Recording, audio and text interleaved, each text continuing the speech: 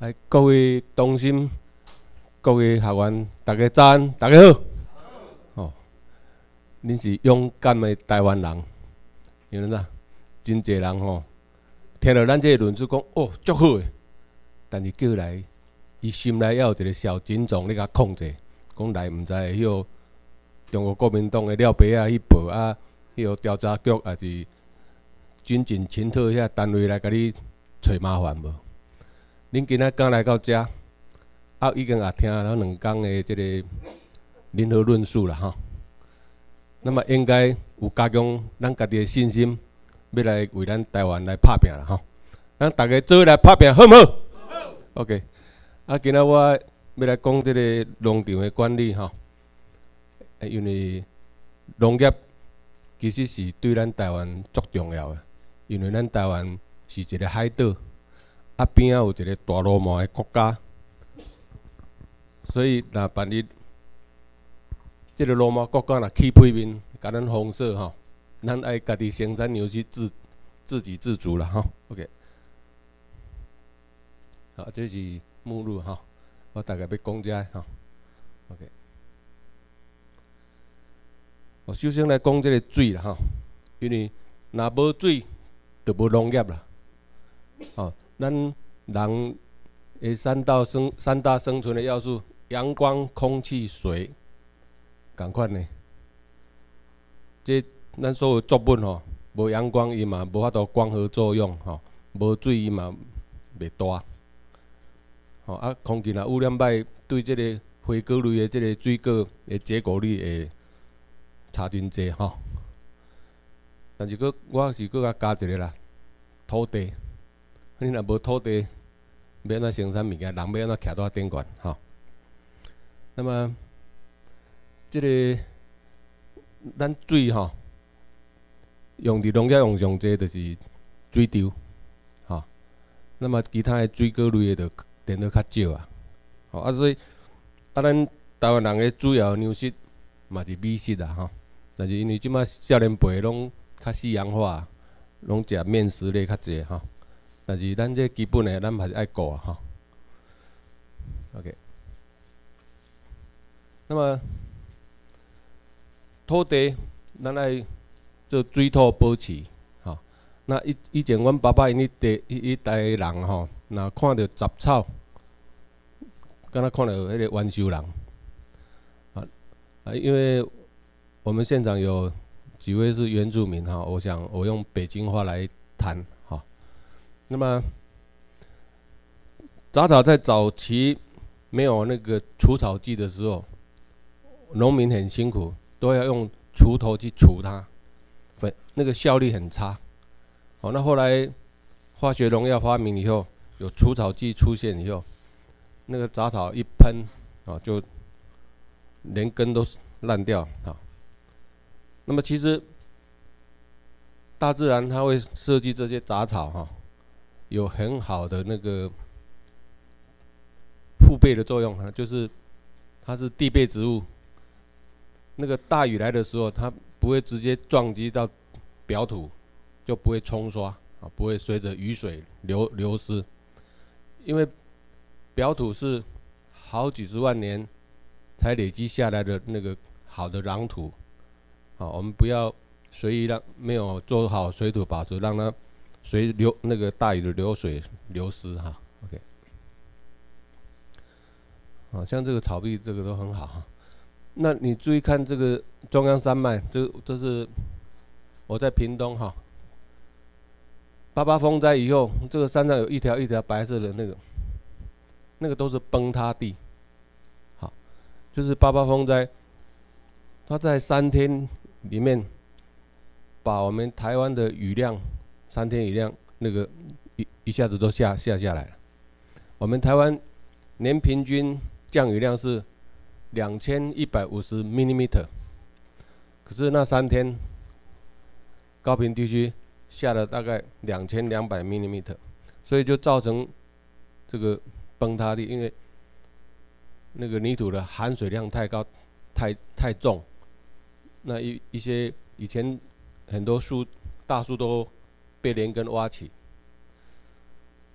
日本时代他们在砍伐树木大树的时候，他砍伐以后，他会在旁边种小树苗，但是那个树枝在大概一米多高的时候，那边砍掉，但是那个根系都还在，这个还会继续长新的第二代木，啊，甚至第二代木长得够粗以后又砍砍掉，长第三代、三代木。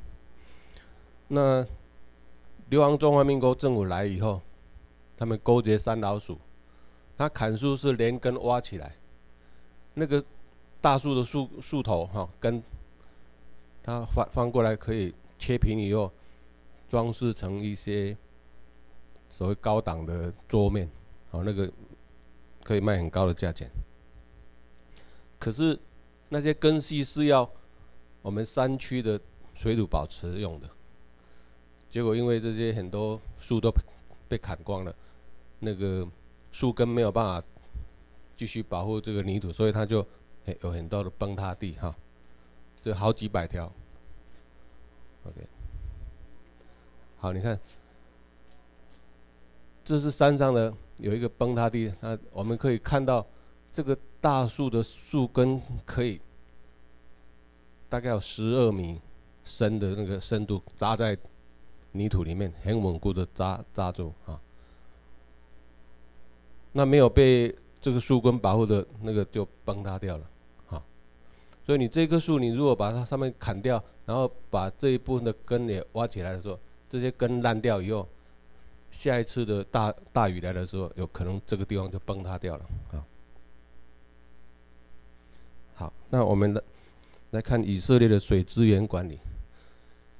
以色列是一个很奇特的国家，哈，它有很多值得我们做借鉴。它一样，它的周边阿拉伯国家都是它的敌国。那以色列本身人口不多，我的印象它只有七百多万人。那他们因为人口少，又要对付周边国家的那个阿拉伯敌对国家，所以他们。全民皆兵，哈，男女都要去当兵。那么，它又是一个沙漠的国家，它只有一个加利利湖，提供他们百分之六十五的那个供水。那其他的百分之三十五的缺缺口要从哪里来？就他们就发明世界最先进的海水淡化技术，所以现在很多海水淡化技术都是以色列他们提供，哈。那海水淡化也只能提供百分之二十五的供水率，那其他的，他们就利用废水回收的技术，把它回收，重新净化以后，啊，提供工业用了或者是农业用的用水。那么以色列他们在农业上，你看他们是利用滴灌系统，这个水用电脑控制。沙漠种这个植物，它就是一天要喝多少水，它就滴多少给它。啊，它只这个根部附近是湿的，旁边就是干的，所以旁边干的地方草也长不起来，所以也就没有除草或者喷除草剂的这个问题。好，那等一下这个这些滴灌的系统，我也可以等一下会有介绍哈。啊，这个也是滴灌系统啊，它这。可以设定你要多少距离一个滴管啊？你等一下，你们可以摸看看，这有阴影的地方就是它要出水的地方。它里面有专利的迷宫，就是如果水中有杂质，它会被那些迷宫卡住，但是水还是会通过啊。那那个都有专利的。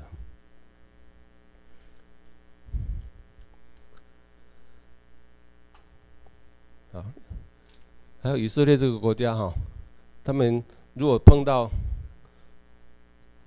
比较没有雨水，他们一一年才降两百 m i 只有我们台湾的十分之一。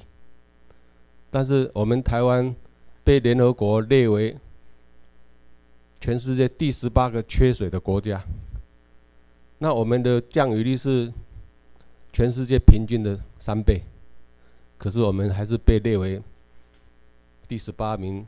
缺水的国家，那是因为我们那个东西向的这个径流哈，速度很快，因为从雨从山上下下来，然后到那个海，速度很快，我们没有来得及把它拦截，让它慢慢渗透，而且因为现在很多地表都是被水泥化了，或者是柏油化，所以它没有办法渗漏，而且很多那个原来的低洼的那个沼泽地区。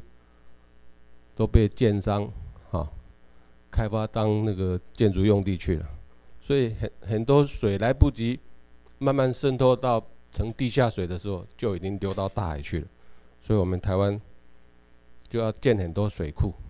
可是台湾这个中华民国流亡政府，他没有想要跟流台湾，他只叫我们台湾人继续拼拼经济，哦，所以我们。全世界很多国家先进国家不要做的这个石化工业，哈，高耗能、高耗水、高耗电的，哈，像那个石化工业，它用了很多的水，而且很那那个很多那个石化的污染会留在我们台湾。像澳洲，它有很多那个塑胶工程用的这些材料，哈，或者是零件，它有很多专利，但是它自己不生产。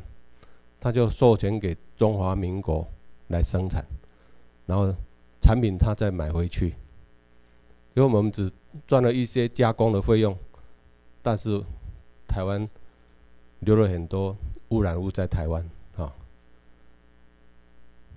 包括水污染，包括那个空气污染啊，所以为什么台湾人好像那个六轻工业区旁边？这云林的人，他们离癌症是全台湾第一名的哈。那以色列他们水，如果碰到比较紧张的时候，他们连洗车都不行啊。洗车的，你如果用水去洗车，会被邻居举报，他们会开罚单。对，因为水是等于说他们的命脉哈。好，那我们来谈。农农产品这个粮食跟国家安全，以前我们常读到历史，都常听到中国的历史说农民抗暴，啊，把那个那个皇室把它推翻掉。那大部分都是因为粮荒，啊，饥荒，那些饥民就会变盗匪，啊，那些盗匪集结起来反政府。反正活不下去的，就跟这个政府拼命了啊！啊，如果成功就成王，啊，如果败的话就变成寇。OK。那台湾自己目前粮食自给率大概只有百分之三十五是我们本地生产，其他的六十百分之六十八都是从外国进口啊。啊，像那个大豆啦、玉米啊、哈啊面食、面粉这类啊。那么这很危险。蒋介石刚来台湾的时候，他们还很有那个战备储粮的概念。现在已经很少人在讲战备储粮，对不对？那我们百分之三十二的自给率，万一中国如果有一个野心要并吞台湾，他都先不要用武器打，他只发布说。封锁台湾周边的海域啊，那个布雷，那很多外国的商船，他就不敢运输物资到台湾来。那我们台湾人很可能几个月以后开始缺粮，内部很可能就会为了抢粮食，内部就斗争就打起来了。等我们自己互相残杀差不多的时候，他再进来，那很台湾就很危险哈。啊，所以我现在看到，现在年轻人都吃洋化的东西，吃麦当劳哈，吃面食类，哦，我也还蛮担心的哈。而且现在很多农民因为外国进口的那个农作产品，哦，很便宜，像中国大陆。从越南转口进来的茶叶啦，哦，或者一些中药，哦，这些农产品，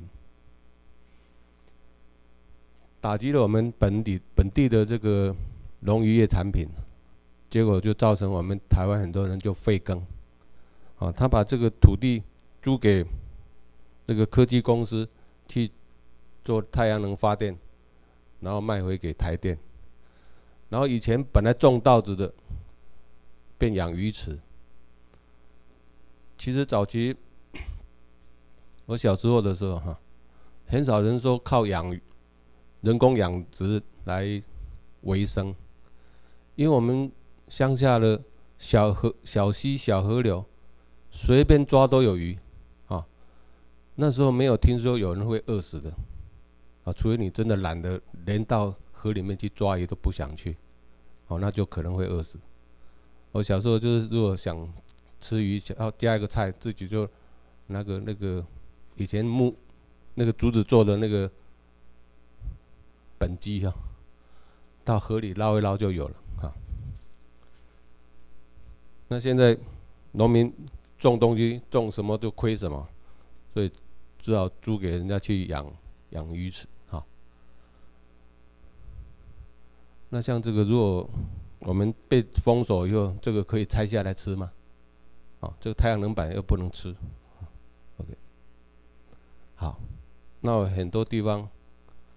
连租给人家也没有人要租，因为知道种做农大部分都是亏本嘛，所以就任其荒废，然后杂草那个藤蔓植物一堆啊，这样这个如果这个木本植物你再给它放个三年五年，就变很大棵的巨木。如果到处都长很多大型的巨木，等你哪一天想到说我要重新来耕种的时候，你光要把这些大树砍掉，你就头大了。好，你请可能要请过那个怪手挖掘机来挖才弄，有办法把那个根挖起来。OK，啊，那个很奇怪哈，山上在砍树，哈，挖树，然后平地的好的农地在造林，啊，这个很讽刺啊。就我们目前的这个。流亡政府不知道是在要灭农还是怎么回事，要把我们弄到以后没没饭吃，就要投靠中共。像这种扭曲我们这个台湾农地的使用哈，这个我们要以后要把它导正过来。好，那我们来看农业，现在的农业用惯性农法，如果没有用农药。控制病虫害，很可能你的收成比例会非非常低，甚至有时候是全军覆没哈。那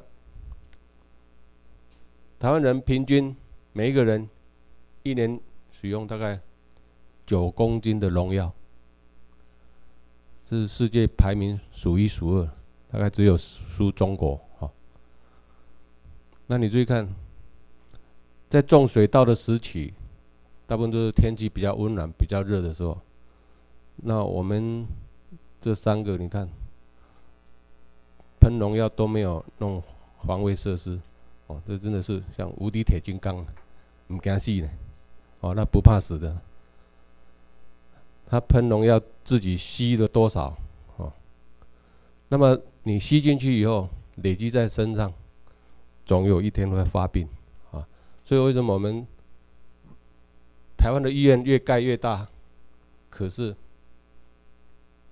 经常是找那个没有床位，就是因为我们环境的荷尔蒙太多了，这些农药的到处飘散，包括我们农产品残留的农药，我们吃进去累积在我们身体，好，这都造成我们很多肿瘤、哈癌症、病变这些这些病这个问题。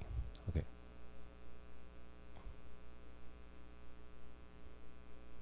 好这是橘子哈，海梨啊，应该是海梨啊。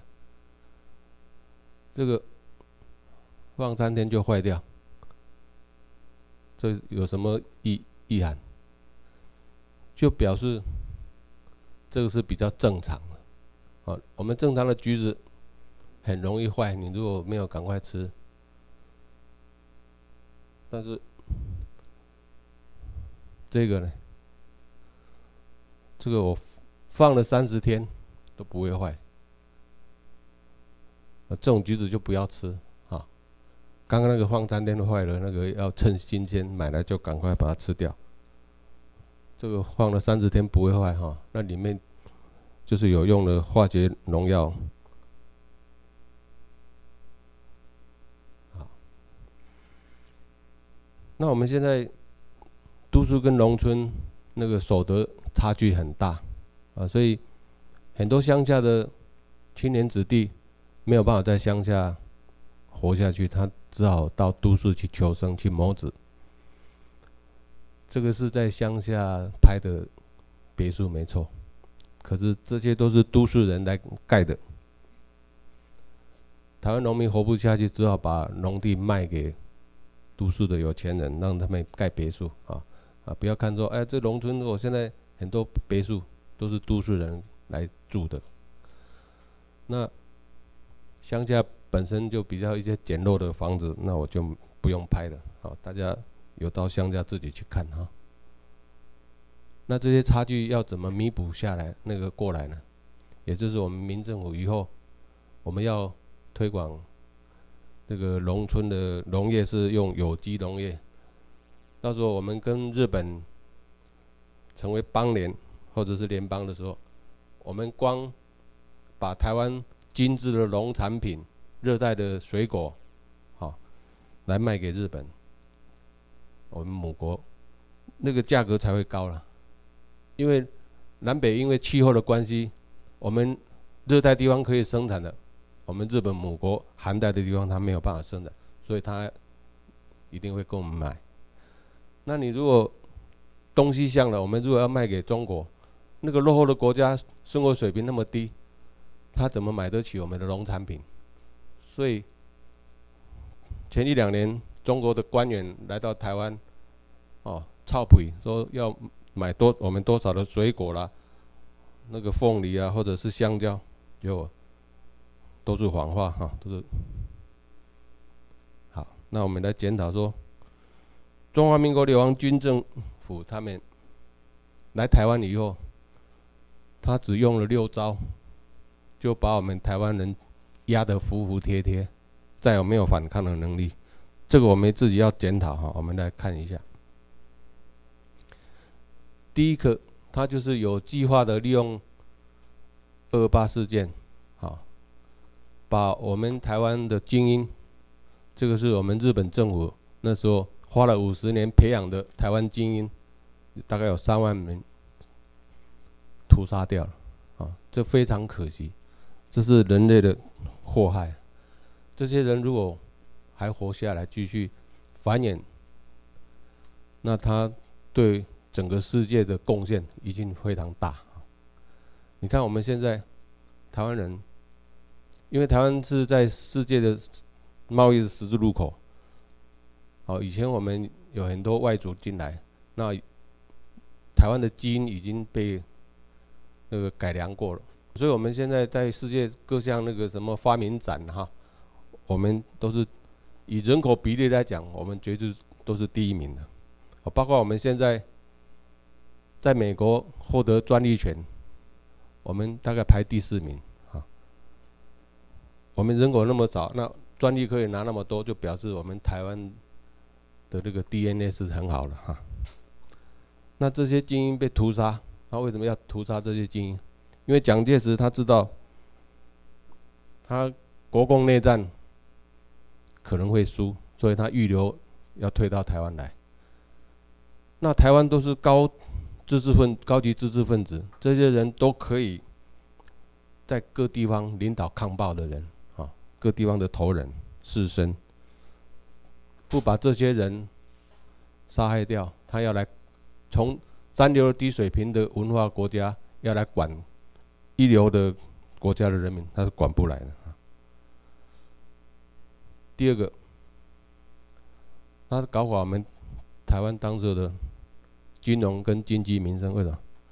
他把我们台湾一一年可以收三三季哦大概两季是主要是稻米那一季是杂杂粮就是大豆或者是玉米这一类的。那么我们日本的这个在台湾的这些驻军一撤走，中中国这个流亡军政府来以后，他就把各地的那个港口的粮仓的粮食，或者各农会的农那个粮仓，通通把里面的粮食运到上海去倒卖，哦，去也去支援他们所谓的国共内战。结果台湾的米价一日数倍啊，甚至到七百倍的这个价格，所以那时候民不聊生，才会引起那个动乱哈。然后他又在一九四九年，他用一块新台币换我们旧台币，四万块的旧台币才可以换一块新台币，你看。你再怎么有钱的人，都会变变穷人哈。那台湾的有钱人也是地方的士绅，有钱才可以号召百姓说我们来反抗这个政府，但是你至少要给他饭吃啊，要提供工具啊，交通工具啊，这些都要有要花钱嘛。第一个，他还把你的那个各地方的有钱人也搞垮了哈。那大地主也是地方的士绅或者地方的头人，也是有领导地方的能力的。这些人，啊，国民党政府他就用什么，耕者有其田啊，三七五减租啊，哈，就把你这个大地主变成小地主，你也变成没有经济能力哈。而且那些被释放出去的土地给佃农。那些佃农就变成支持国民党的支柱了，好，那是地主比较多呢，还是佃农比较多？当然是佃农比较多，啊，所以现在农村地区还有很多地区，民进党再怎么选，那个得票率都输国民党，也是这也是原因之一哈。还有他用白色恐怖，他你只要。对这个政府的施政措施有意见，你就是反抗分子，好，就是要抓抓起来啊！我记得我初中我们的历史老师在上课的时候，他讲了一些真话，没多久我们那个老师就不见了，啊，那所以他用白色恐怖来控制我们的思想，然后就是用警备总部随时。你如果不听话，就随时把你抓抓去关啊！用这种方式，让台湾人大部分的人都噤若寒蝉，也不敢讲真话哈。还有敌性反反转、身份错乱的移民教育，他教我们说：“我是台湾人，也是中国人。”好，有没有？照讲我们是日本人，好，日本台湾人。结果他们这六十几年来，一直讲我们中国人，我们中国人，很多台湾人也误认为是汉人的遗那个这个子孙呐。OK，那本来我们是战败国，日本台湾的战败国，结果他们来了说光复了，而且说我们抗战胜利，通通说我们，那我们是中国人，那我们就自以为哎，我们也是战胜国，我们是打败日本的。本来我们台湾人跟中国人是敌对的，现在台湾人竟然去支持国民党。你看，两千零八年，马英九跟谢长廷在选举，台湾人占百分之八十五的人口，竟然选出那百分之十五的人。好，我们还输了两百多万票，那这些票也是都是台湾人自己投的啊。哦，这就是敌性反转哈，忘了自己的身份啊，被他用愚民教育把你的敌我意识弄乱了。OK，好，那假的民主选举，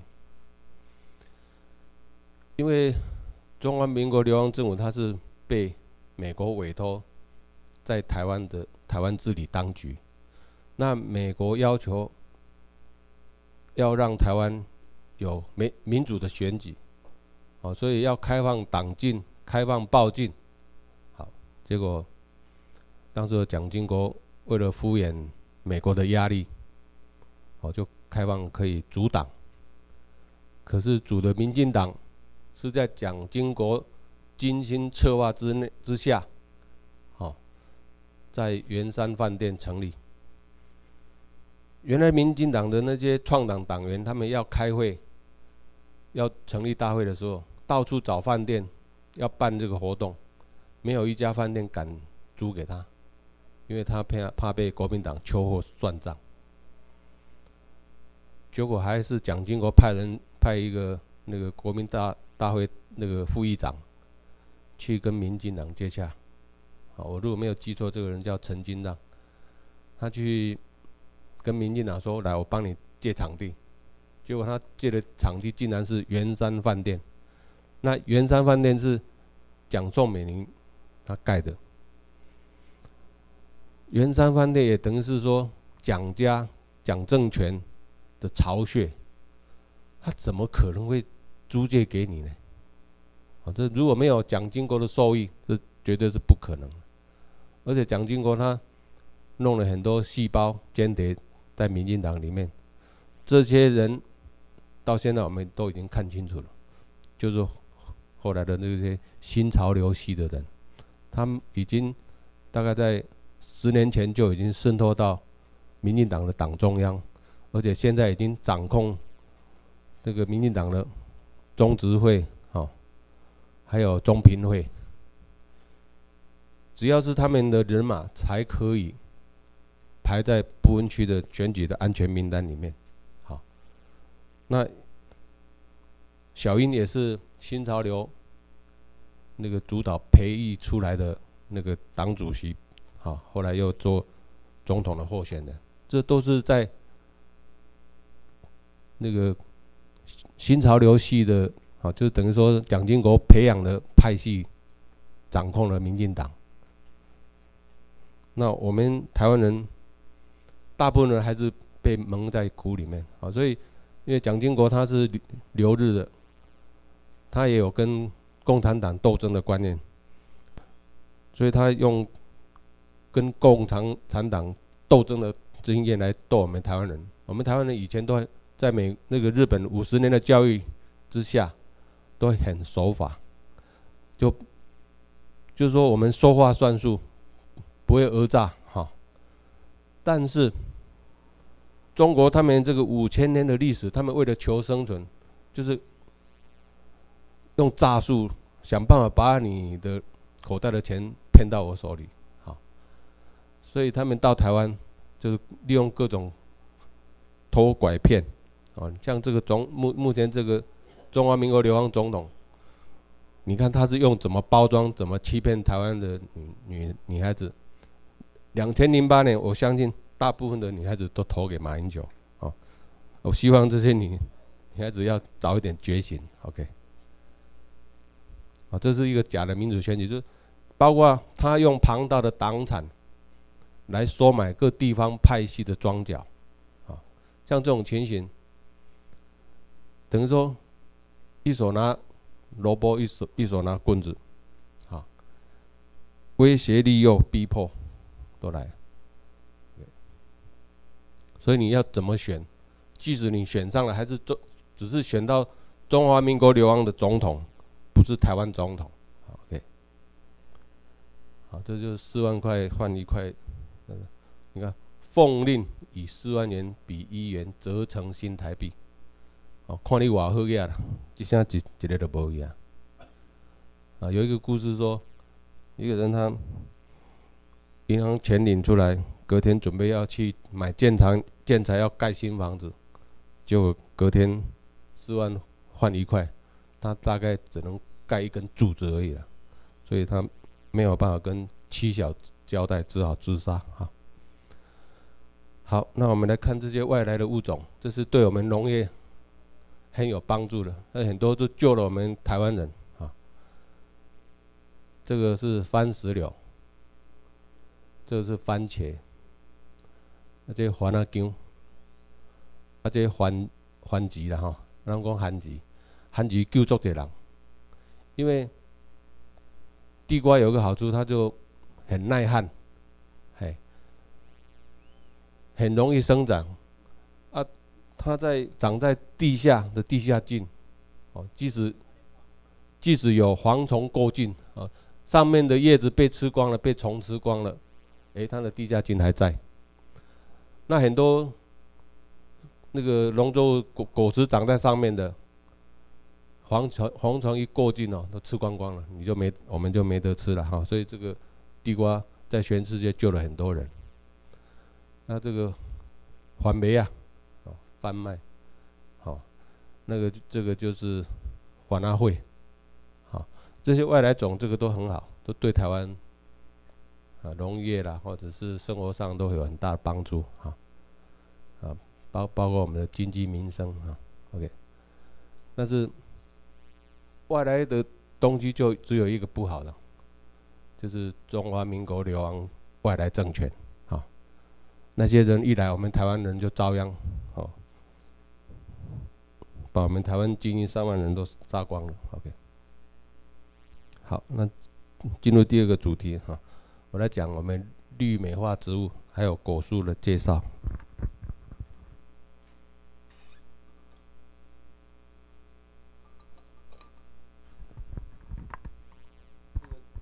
加宝果，一般人都听不懂。你如果跟他说是树葡萄啊，大概就比较多人会知道。这个加包果有一个好处，它就是你种一整排。不用什么修剪，它就会长得蛮整齐的哈。这个树形漂亮，然后又好照顾。我种了大概今年也算第三十年了，这三十年我没有喷过农药。它开的花也会香啊！你看这个是大概三月份换新叶的时候很翠绿哈。啊，这个是。从地上挖起来，准备上市，啊贩卖的。那这有两个品系，一个是小的加宝果，啊，就是这个，大概这么大，大概五块钱到十块钱。那这个大的哈，你看它的种子就大概它的三四倍，它的果实大概有五十块铜板，还更大这样。这是它开花的状况，这个花非常香。它花香介于桂花跟玉兰花的混合体，很香。那我那时候种了，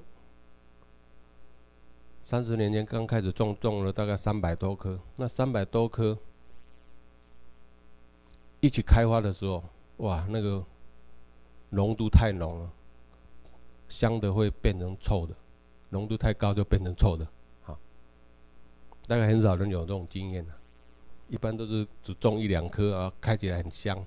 可是三百棵一一起开的时候，你会受不了。啊，它本身是桃金娘科，你看它的花哈，跟莲雾是同科的，跟芭拉也是同科。好，啊，你注意看它的树干哈，它跟芭拉一样，它也会脱皮哦。啊，这个会脱皮，那跟芭拉一样，所以。而且你把那个树葡萄的叶子扒下来揉一揉，你给它闻，是芭拉的味道。所以那时候电视台来采采访，我说别人在种布啊，生菜龟，我种要把它生葡萄，哦，笑个。啊，这个是含苞的花，啊，这是刚好盛开。这个果实它是从绿色开始变黑。像这样，你看它这个一那个树皮会翻起来，脱皮的意思就是它继续在长大，就像蛇在脱皮一样。好，它这个它是从它的头部哈，好像这根部这边开始就一直长，长到树上末端，啊，可以长得很，好像这棵树大概七八公尺高，但是它。整个树干的那个果实一直一直连上去，啊，这个不可以说看到黑就就摘哦，哈，刚黑的时候还不好吃，那个果酸都还没有转换成果糖，你要看黑的开始算，八天到九天是最好吃的。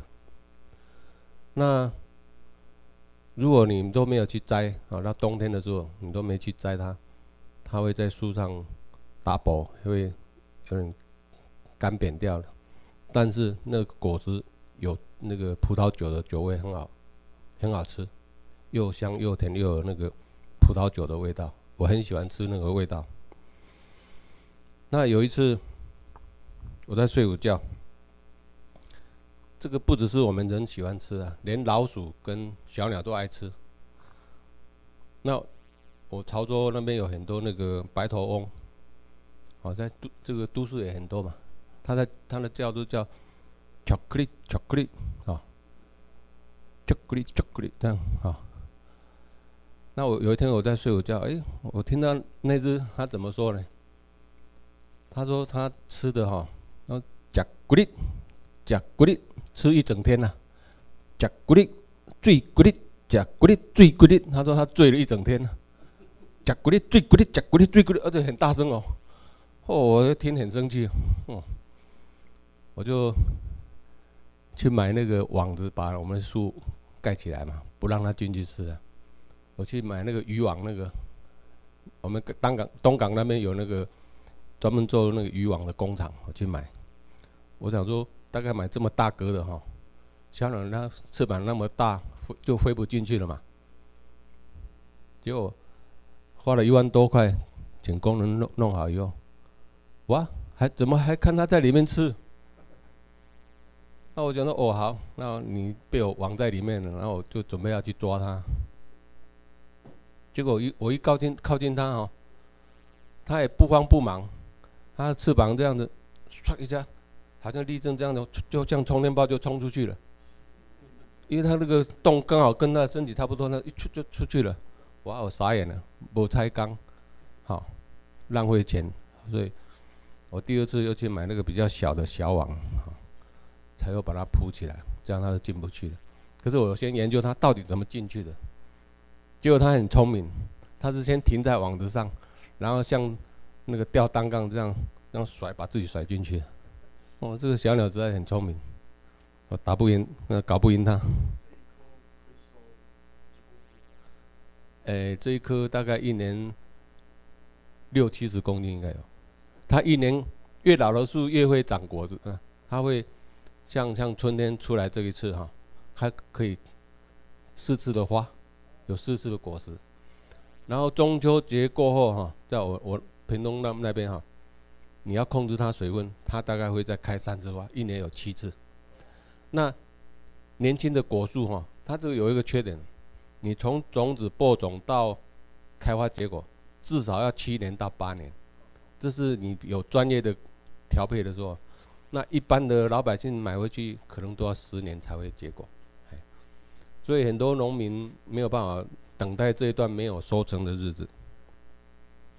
那我是无心插柳柳成荫，我原来是在做园艺景观工程啊，造景。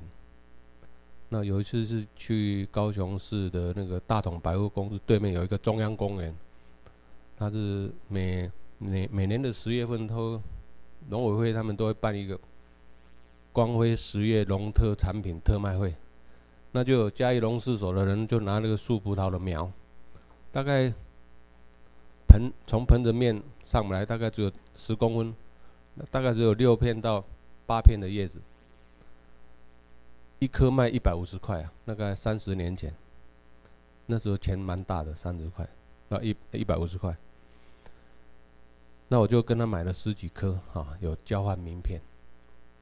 结果到第十天，他打电话给我，说：“潘先生，我三百五十颗哈，大概只卖掉五十颗，剩下三百颗，半价卖给你。那因为我要回家，有不带回去了。我口袋摸摸，哎，有，好，就跟他买下来，就这样傻乎乎种了。哎，没想到种到，我只交代我父亲哦。”你只要把它种，不要让杂草或者藤藤蔓把它盖死，或者没有给它浇水，让它干死掉啊。结果大概第九年、第十年，我回去老家巡视，哎，我说奇怪嘞，我家又没有养羊啊，附近也没有听说有些养羊，怎么地上有很多那个羊大便？结果再走靠近一点，哎，原来树上结了很多果实掉在地上，我一摘来吃，哇，从来没有过这种好的味道，哦，所以我赶快请人家来把那个围篱围起来，哎，啊才。转行专门攻这个，结果不，现在外面很多他的子子孙孙一直出去了，因为啊，现在网络上一百五到两百五，哎，一般的市场你买不到，因为它也有一个缺点呢，它的后熟的速度太快，摘下来你如果两天不吃，开始有酒味了。好，哎后熟的速度太快哈，还有台湾人也很奇怪哦，像这种稀有的果树，刚开始我开始卖，有果实我就开，他问一颗多少，我都开两万块，哎他买去了，再下次再来我开三万，哎他也买去了，最后是卖到十五万，哎一颗十五万，那有一个人他开宾士轿车来，还是人家。介绍过来的，他一来就是说：“潘先生，你最大的那个树葡萄是哪一颗？他都要买台湾最大的第一名的。哎，台湾人很喜欢第一名。我就说啊，大概是这三颗，按你自己挑，看你喜欢哪一个树型。哦，他说啊，这一颗多少钱？我说十五万。我说哪有那么贵的？我买树没有买那么贵。他没有买过这种树，他不知道行情。那我就跟他说：“你开宾士轿车，现在外面开宾士轿车很多，没什么稀奇嘛。OK，好，啊，你住别墅，现在外面别别墅很多啊，好，也没什么稀奇啊。我说你如果给我买这棵树回去，种在你的庭院，亲戚朋友来，你就可以错币。领导有这不？有没有正要把它生葡萄的无？你就把他们比下去了嘛，啊，都 get 到了。”听着，哎，有理有理哦，然后就买两颗回去哦。哎，过半年他又来，就是超配个，今很高兴呐，又来给我买四颗，哎，很好哦。我种很多树种过了，因为田园造景种很，这这种树它的根很细很多，所以你把它断根以后。它的成活率还是很高，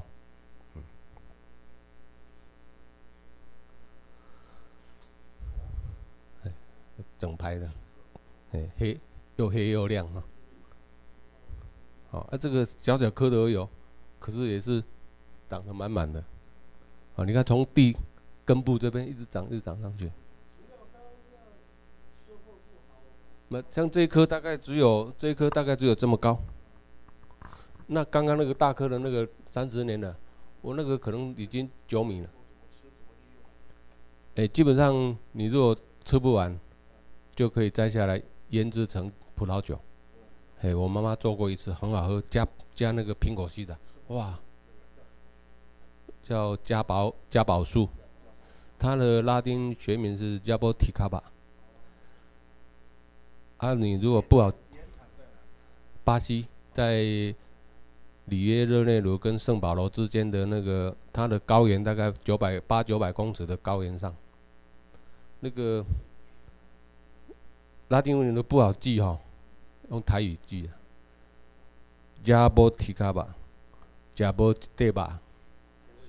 哎，没，你你打那个树那个加包果哈，树葡萄，哎，那那个网络上就有了。哎，树葡萄也可以。好，那这只狗跟树葡萄有关系啊？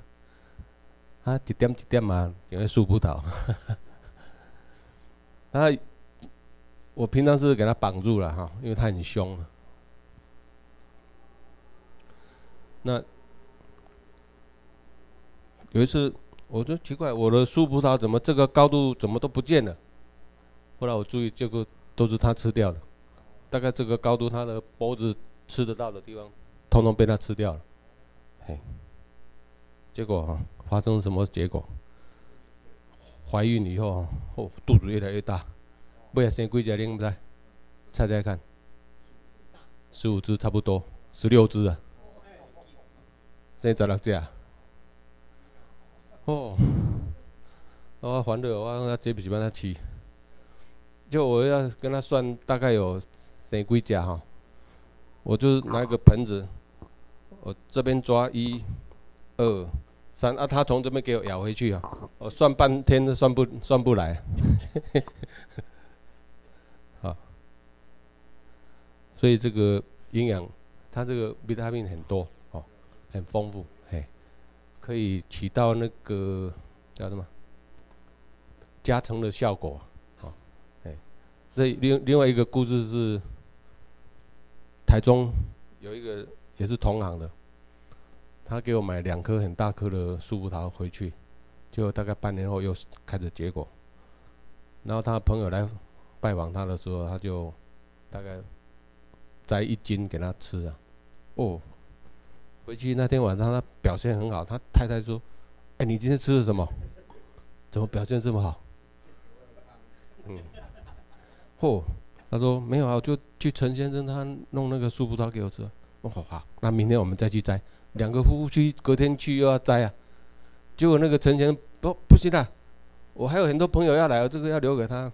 你如果要哈，我带你去屏东潮州那个潘先生那边，他还有一百多棵。我真的就带来了，也大概是这个四月份这个时候，正好东港也要那个尾鱼季，啊顺这个时候来。就我朋友他是开那个修理车比较高，另外他的朋友是开 Volvo 比较低。那有他之前有跟我说他来，我一看他进我的大门啊，我就低头准备泡茶招待客人啊。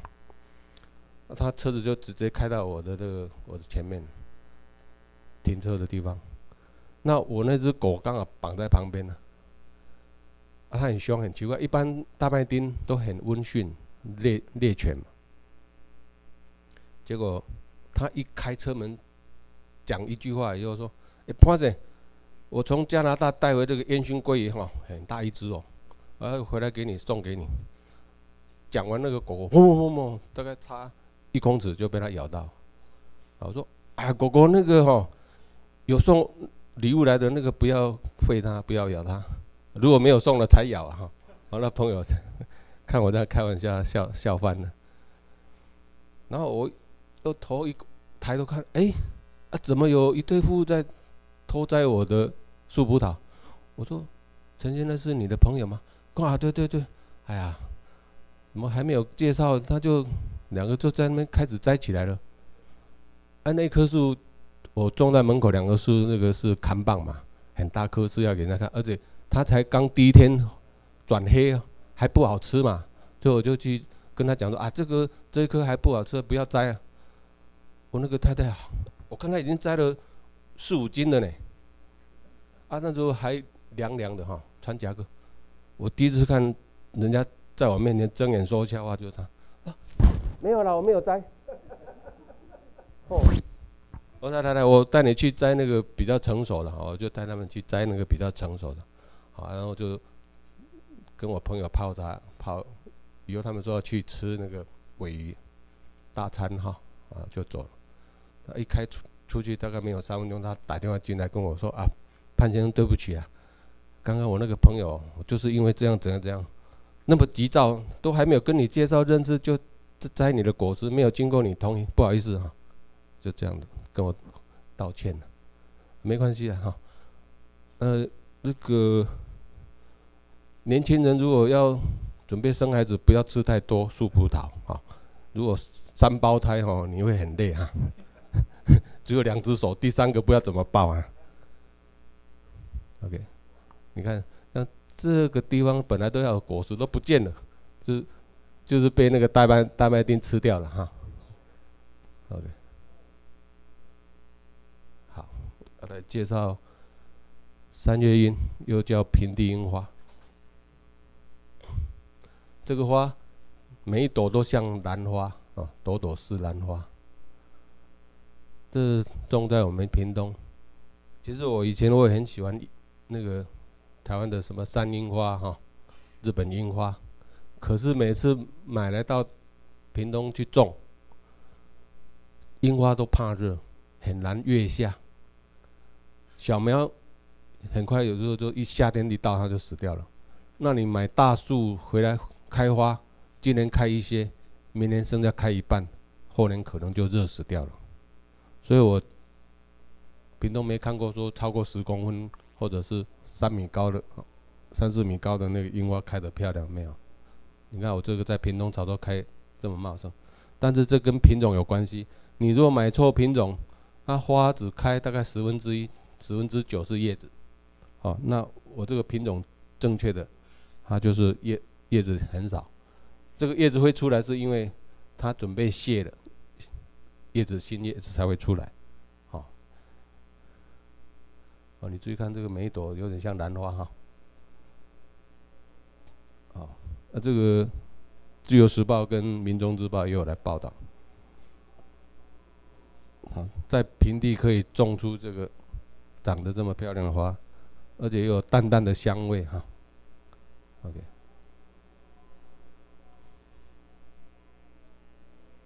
啊，它有一个好处就是冬天落叶，然后春天就开花，然后花谢以后，它花期还蛮长的，大概五十天。好那很快，在不到一个月的时间，整个又布满绿叶，可以树下可以乘凉。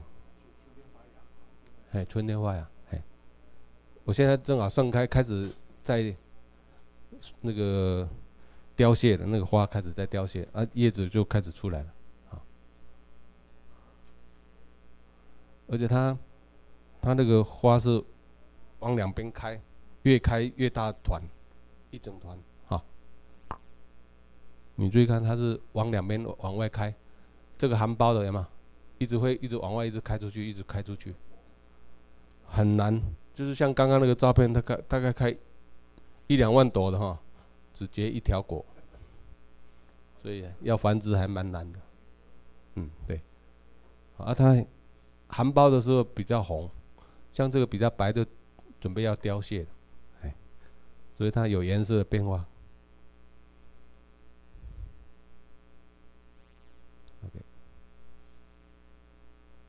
啊，像这个，因为我那些树大概只种八年，今年今年是第九年，那这个国外的，它这个不知道已经种二十几年应该有，哦，才可以长这么高。好，呃，现在九点哈，那我们休息十分钟，等一下我再继续介绍。OK，好，谢谢。